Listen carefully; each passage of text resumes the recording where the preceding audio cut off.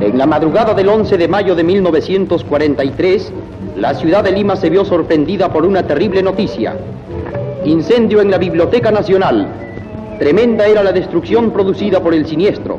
Cien mil volúmenes se habían consumido por el fuego y la gran riqueza documental atesorada se había perdido casi totalmente. Pronto la desgracia fue conocida en el extranjero las naciones amigas del Perú ex su condolencia.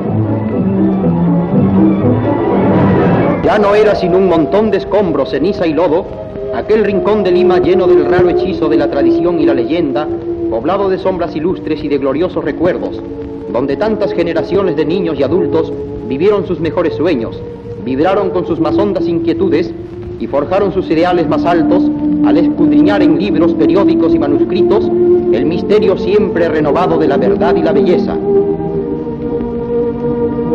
José de San Martín fundó y abrió la Biblioteca Nacional poco después de proclamada la independencia del Perú.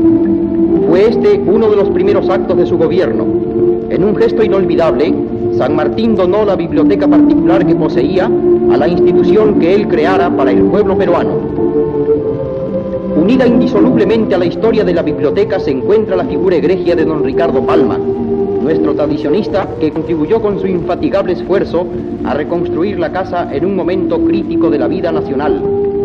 Los libros, manuscritos y distinciones honoríficas que múltiples veces recibió en vida, juntos con los otros objetos que le fueron usuales, no solo serán reliquias familiares, sino tesoro del Perú. Otro de los insignes directores de la biblioteca, don Manuel González Prada, la vigorosa figura polémica del pensamiento peruano su vasta producción literaria y política, así como históricos documentos donde reafirmó su altivez cívica, ocupan un lugar de preferencia entre las colecciones de la biblioteca actual. Al lado de los blancos claustros de la Escuela de Bellas Artes, con sus jardines y clásicas estatuas, fue guardándose y clasificándose paulatinamente lo que pudo salvarse del incendio, lo que fue restaurado después y los donativos y adquisiciones.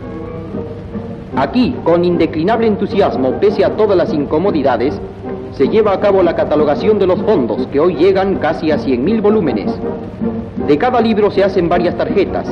El catálogo debe responder en cada caso a las diferentes preguntas que cualquier lector puede hacer. ¿Qué obras hay en este autor? ¿Existe este libro cuyo autor no recuerdo? ¿Qué obras hay sobre esta materia?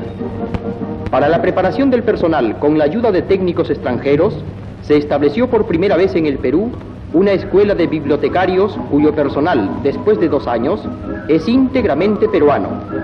Clases orales y clases prácticas se alternan en forma armoniosa con el cotidiano trabajo de la escuela, formando así una nueva profesión. En la biblioteca se guardan desde copia fotostática de documentos de valor histórico hasta el modernísimo microfilm de tamaño diminuto que registra libros y periódicos íntegros. Hay también discos para cuya audición la biblioteca tendrá una sala especial en su edificio. Y las películas, incluyendo los noticiarios nacionales, que allí se guardarán para el futuro. Fotocopias de manuscritos de la época de la conquista cuyos originales están en el extranjero.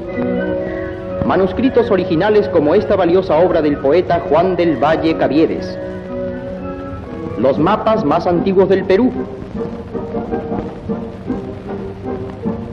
y planos evocadores como este de la ciudad del Cusco. Entre las ediciones curiosas que posee ahora la biblioteca, vemos una obra que perteneció a la reina María Antonieta de Francia y volúmenes que fueron de la reina María Cristina de España con sus iniciales y su ex libris.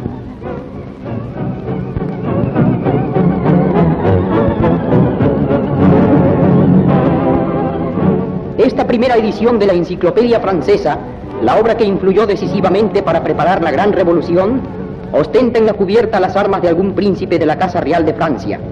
En uno de los volúmenes se cortaron las hojas centrales para dejar un espacio en forma de caja, probablemente con el propósito de guardar algún precioso secreto. Es esta una edición de La práctica de derecho procesal, por Juan de Ferrara, impresa en Frankfurt en 1570 el Tribunal del Santo Oficio de la Inquisición de Madrid lo censuró tachando los párrafos que consideraba heréticos, como se puede apreciar en forma visible en varias de sus páginas.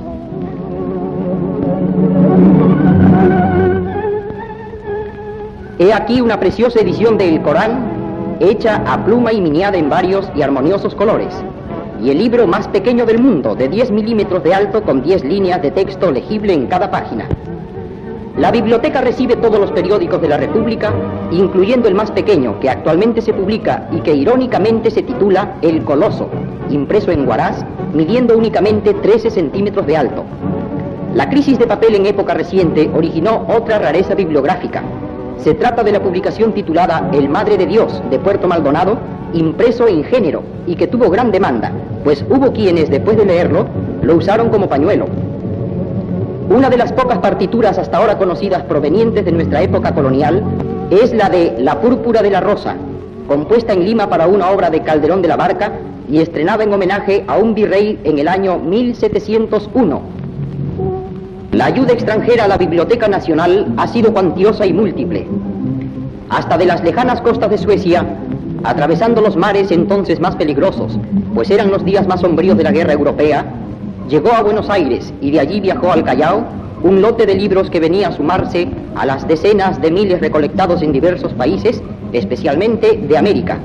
La única respuesta que el Perú podía dar a la catástrofe de mayo de 1943 tenía que ser la construcción de un gran edificio, el nuevo local de la biblioteca abarcará un área total de 5.700 metros cuadrados y un área construida de 16.500 con un costo inmediato de 5 millones de soles, garantizados por una ley recientemente dada por el Parlamento. Los trabajos de construcción se han intensificado desde hace poco y los arquitectos, constructores, empleados y obreros de la obra son íntegramente peruanos. La juventud estudiantil podrá encontrar dentro de pocos meses el patrimonio espiritual del país y las fuentes eternas de la cultura universal. Y los obreros hallarán igualmente obras de utilidad práctica, de sano esparcimiento y de honda formación espiritual. Una sección separada contará con libros propios, auxiliares especializados, un cinema y títeres para niños. La Biblioteca Nacional, vigorizada por la colaboración generosa de los países amigos el esfuerzo del Estado y la ayuda de los particulares aspirará a ser el hogar intelectual de todos y todos deben contribuir en la medida de sus posibilidades a su progreso y a que nunca más pueda ser víctima de otra acechanza del destino.